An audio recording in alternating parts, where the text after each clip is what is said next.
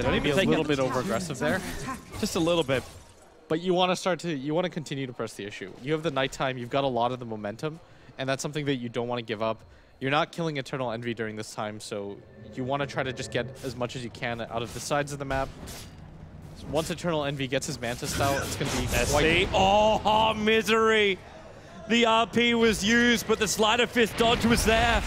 That's actually godlike. Oh boy. You know Misery's going to be quick. Finally, Newbee Y, for the first time in a long time, they've got vision on Eternal Envy. They put